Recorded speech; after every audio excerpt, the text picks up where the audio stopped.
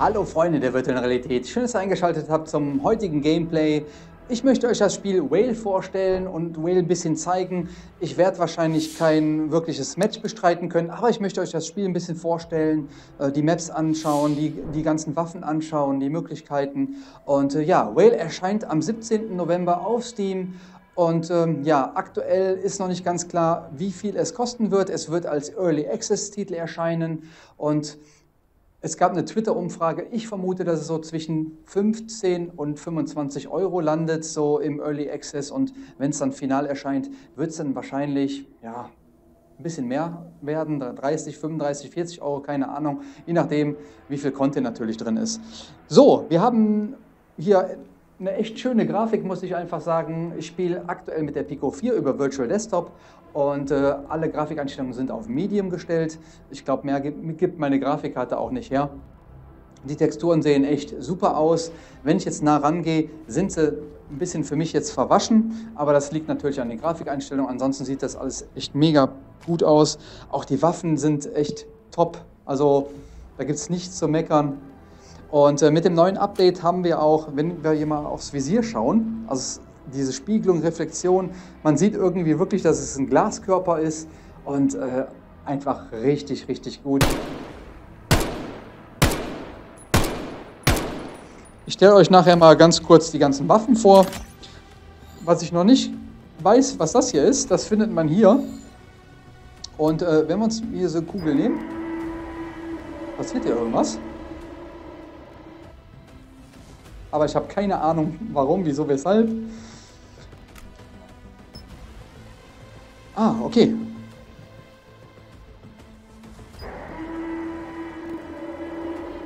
Okay, wir probieren mal was.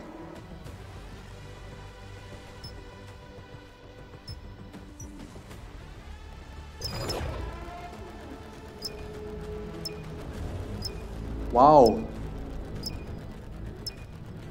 War mir eben gar nicht so bewusst, was das hier ist. Das gehört wahrscheinlich mit zum Spiel. Es gibt immer 5 gegen 5 5 Matches und äh, ich denke mal, dass eine Gruppierung das dann machen muss, dann verteidigen muss. Ich konnte noch kein Match spielen. Es, ich habe nie Spieler, Mitspieler gefunden. Von daher äh, muss man warten, bis das Spiel wirklich erscheint. Aber ähm, ja, wie gesagt, ich wollte euch das Spiel jetzt nur präsentieren und mal äh, vorstellen. Sollte man auf jeden Fall auf dem Schirm haben, wird ein richtig guter Shooter werden. Da bin ich mir sicher. Oh, jetzt mal gucken, was passiert.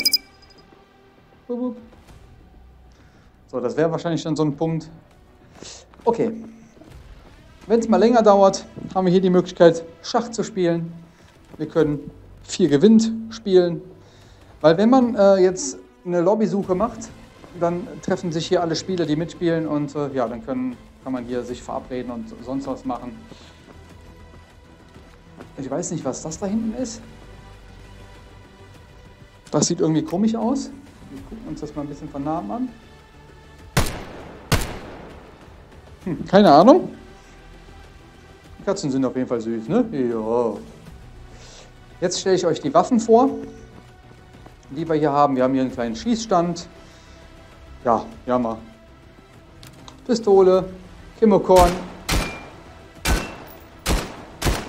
Funktioniert auch ganz gut, wenn man zielen kann. Magazin auswerfen geht immer über Knopfdruck. Nachladen. Aber der muss man jetzt gar nicht durchladen. So, was haben wir hier? Muss man schauen, ob man hier diesen, diese Schalter hat, Semi oder Auto. Ne?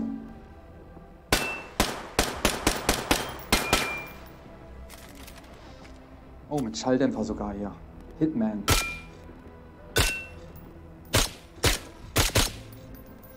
Hört sich auch cool an. Also Sounds sind super, die Grafik ist toll. Was will man mehr? Visiere sind alle super. Und äh, was ich euch gleich noch zeige, wir haben Loadout. Wir können uns alle Waffen schön anpassen, wie wir die haben wollen. Das zeige ich euch aber gleich erst. Schieß mal mit allem. Hier haben wir Blendgranate.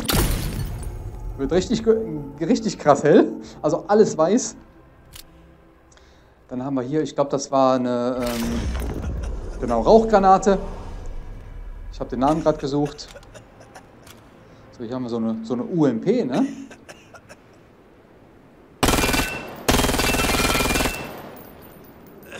Ja, die Waffen machen auch echt Spaß, muss ich sagen.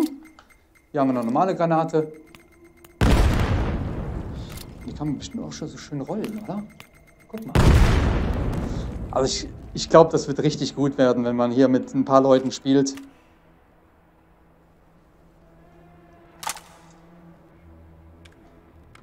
Versuch mal nachzuladen.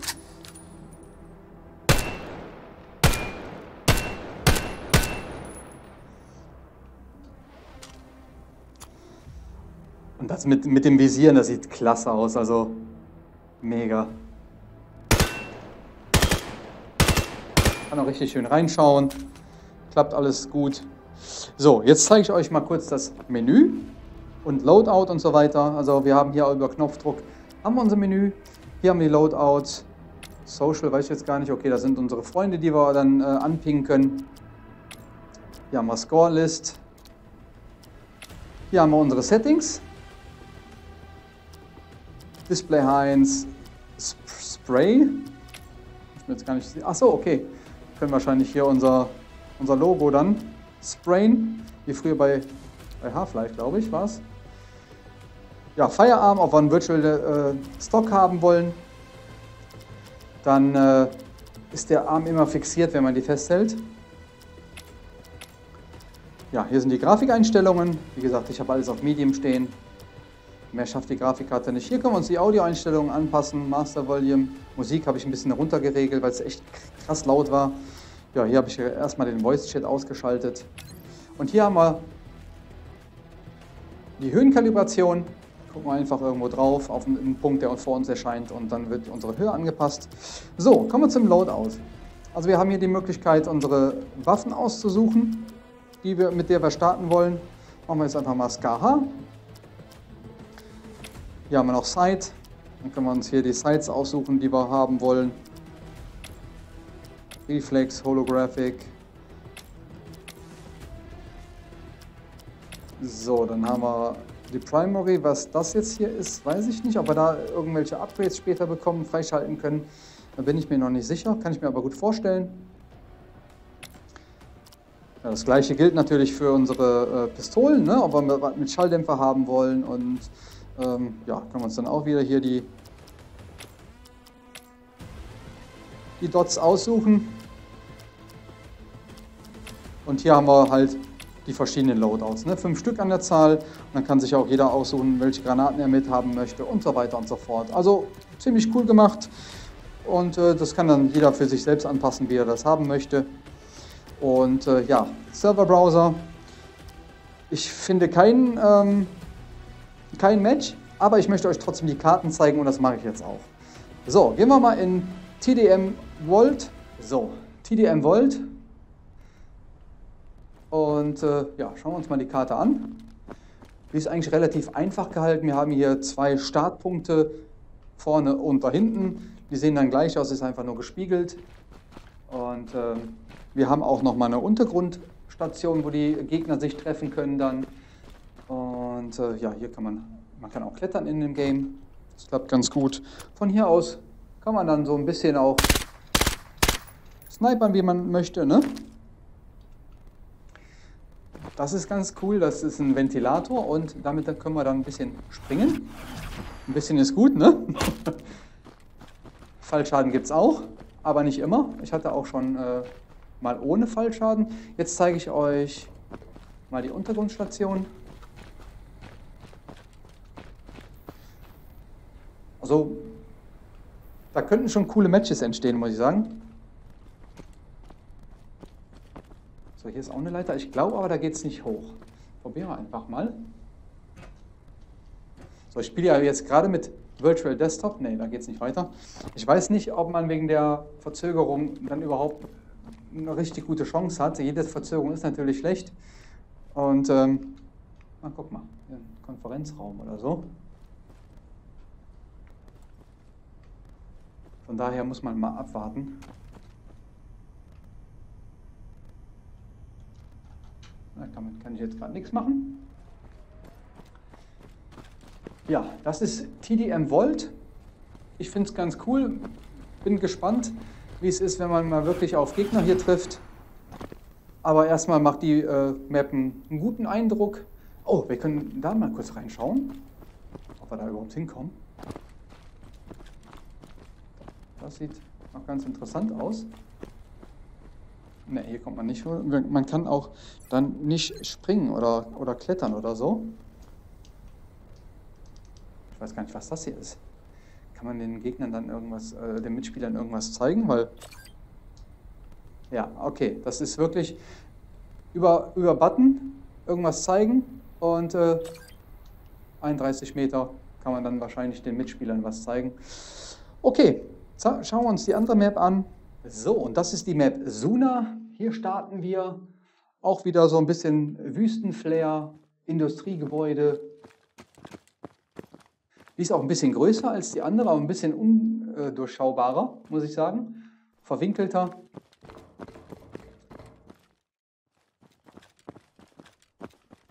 So, ob man dahin kommt, weiß ich nicht. Habe ich äh, mal probiert. Aber ich will jetzt mal ganz kurz was probieren. Kann man auch ganz gut werfen. Gefällt mir. So, auch mal hier hoch. Ja, wie ihr schon seht, also hier, hier muss man ein bisschen Zeit drin, drin verbringen in, in dieser Map, um äh, ja auch mal die, alle, alle Ecken kennenzulernen.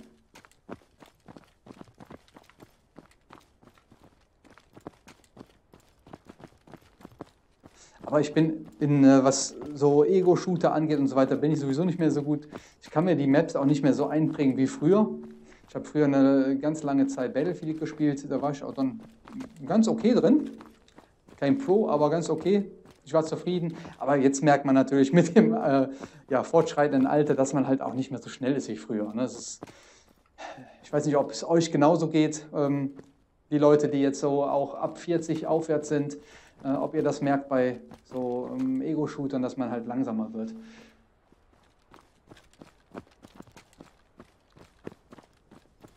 Also ich finde, die Map kann sich schon, schon mal sehen lassen. Ich bin auch gespannt, was mit der Zeit noch immer mehr reinkommt an Maps.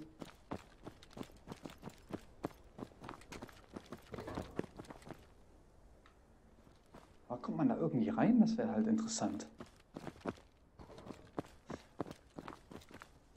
Ich vermisse wohl irgendwie eine, Sprung, eine Sprungmöglichkeit, dass ich ein bisschen jumpen kann. Okay, hier, hier klettern wir jetzt mal hoch.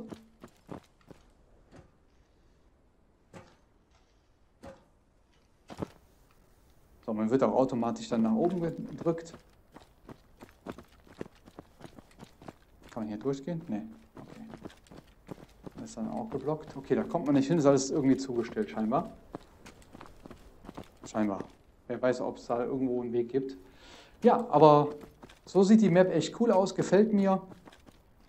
Was sagt ihr zum, zum Spiel? Was sagt ihr zu den einzelnen Maps? Was gefällt euch jetzt ganz, äh, ganz gut oder äh, was eher weniger? Wie gesagt, man muss jetzt wirklich mal auch ähm, Matches bestreiten, um mal zu schauen, äh, wie ist das, wie arbeiten die Server, wie gut sind die und äh, ja, wie ist die Verzögerungszeit hier.